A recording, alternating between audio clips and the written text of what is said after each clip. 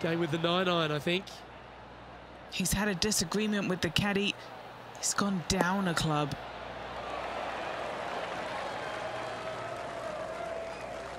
This is an extremely